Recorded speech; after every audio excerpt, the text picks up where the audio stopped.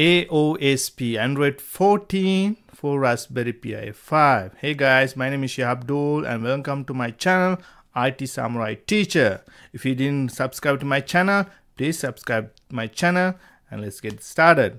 So what is AOSP mean? It's an Android open source project. It's an unofficial port of the latest Android 14 operating system to the Raspberry Pi 5.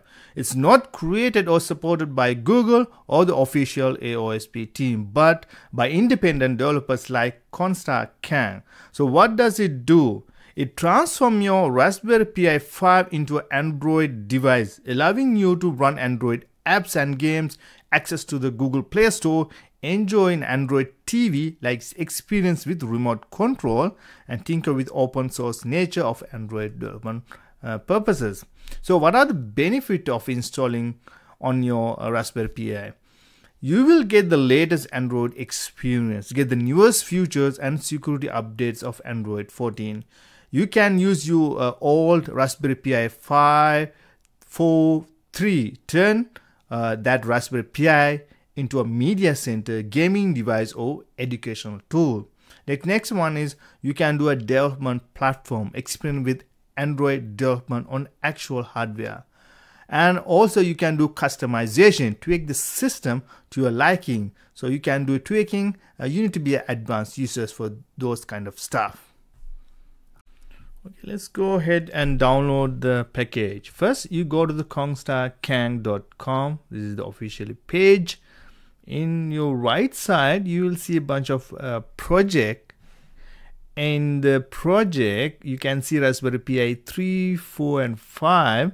You can use the uh, any version for your Raspberry Pi hardware. If you have 3, you can download 3 or 4 this video I'm going to use my Raspberry Pi 5 so I'm going to click Raspberry Pi 5 so once you click you will get a, another one and we're going to use AOSP builds. The next video I'm going to use this one. I'm going to show you how to install and we're going to discuss about this version.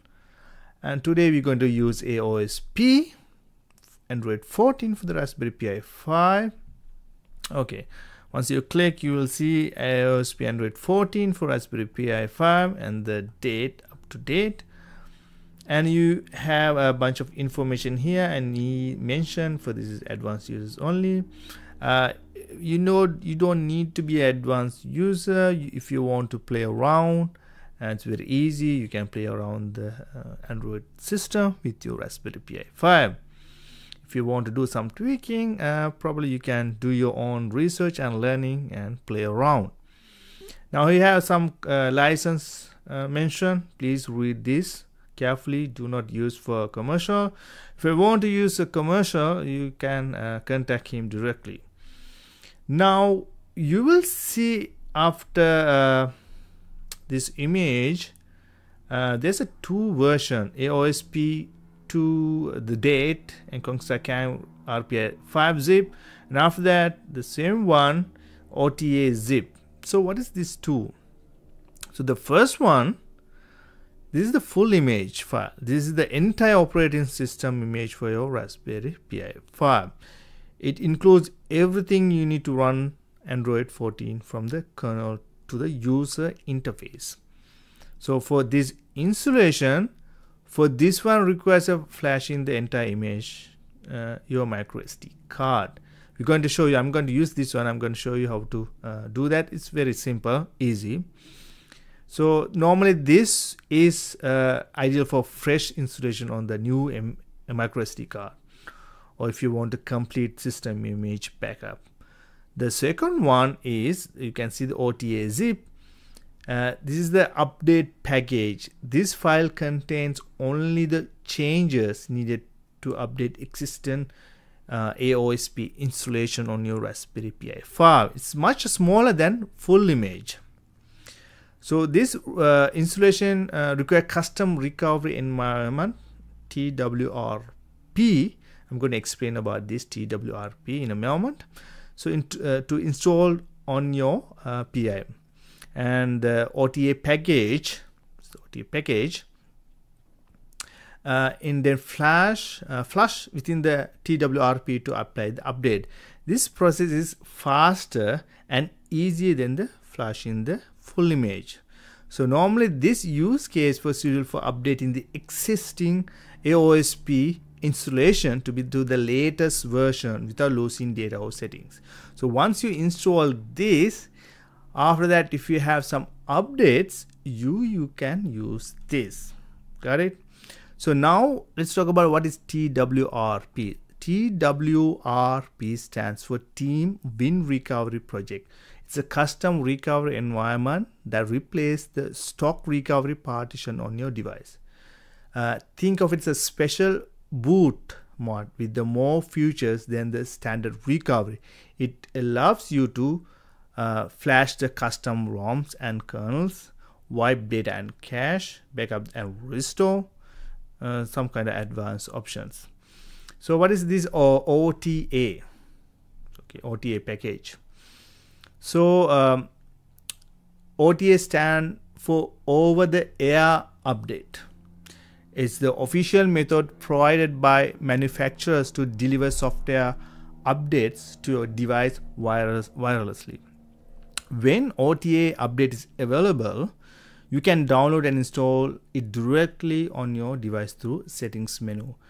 Uh, it's convenient and safe way to keep your device up to date with the security patches and uh, new features.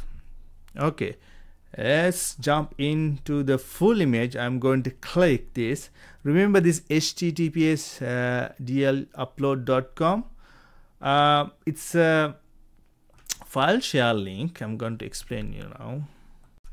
So when you so when you click this you will prompt here. Uh, so you don't have a direct link so we need to download from here. Unfortunately this is uh, some tricky because it's not tricky actually.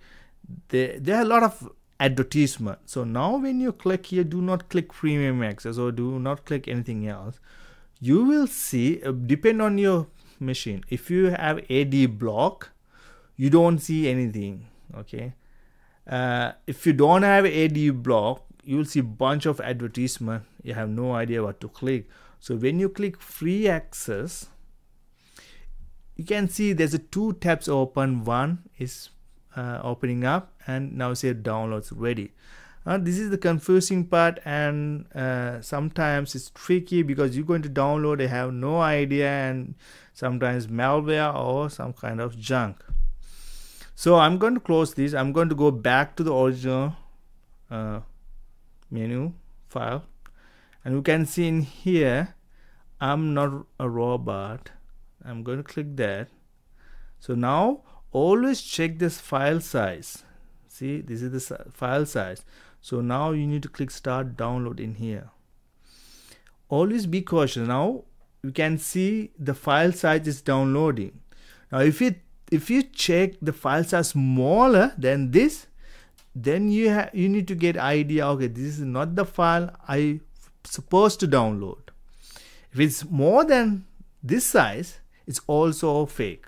So make sure you download the same size the same file uh, so I don't know why he used these links but anyways we need to be very careful when we download something from the internet. Now depend on your internet speed. It takes some time. Once you download we're going to jump in for the installation process. Now I think uh, we are done with the file download. I'm not going to show you how to install the Raspberry Pi image. If you want to know please check my uh, videos. I will show you a couple of different videos how to install the Raspberry Pi image. Once you install the Raspberry image uh, you need to unzip this file the one we download. After that we use the Raspberry Pi 5 and choose the operating system. Go down use the custom. Once we uh, unzip this zip file you can see this is the P image file. Double click and choose the storage and next next and install after you install the SD card take out the SD card put into your Raspberry Pi 5 and boot it up now I'm going to show you uh, once the booter screen. Okay, here's my Raspberry Pi 5. Image is done. I'm going to insert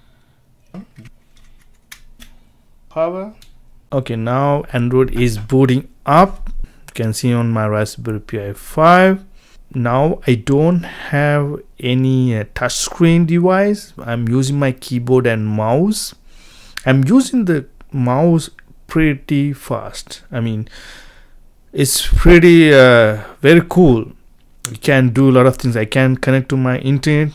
It samurai teacher. There's a storage and there's system. All the things you can play around. Entire android system on your raspberry pi 5 if you have 4 you can install 4 now you have uh, settings you can change anything you want. This one you can install games netflix you can watch videos. I mean the uh, the quality is amazing. I watched some youtube videos i'm going to show you again. It's pretty forward i mean very nice. So you can see all these videos. And also uh, the speed. Speed is good it's not like like raspberry pi opening a terminal or anything like that. Very fast. Look at the when i try to open a youtube it just pop up and i see the hd quality. I mean, I don't have a RDP session right now uh, recording with my phone and even from the phone you can see how quality is quality is very good. Now you can see all the details uh, I wish I have a touch screen so I can play around. If you want to play around with this operating system this is free.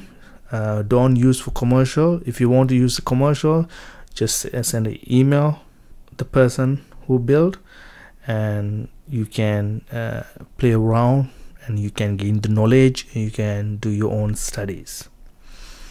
Thank you for watching and i'll see you the next one if you find this channel helpful and would like to support my channel please consider making a donation through buymeacoffee.com believe me every little bit helps in bringing more such educational and engaging content to you. Thank you so much